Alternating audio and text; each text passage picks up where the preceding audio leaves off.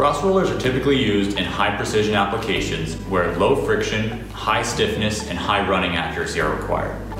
When selecting a cross roller bearing, it's very important to understand how the technical characteristics of that bearing are going to impact your end performance. This could be things such as size, load capacity, the form factor of the bearing, uh, material, accuracy. But when designing in a cross roller application, selecting the right bearing is actually only half the battle.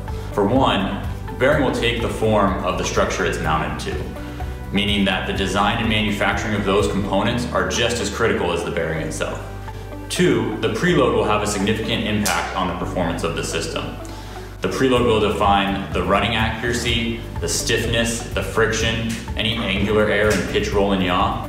With years of experience of designing and manufacturing with cross roller bearings, our team here at Motion Solutions has developed some advanced tools and methods that really allow us to dial in the performance of the system specific to a customer's application.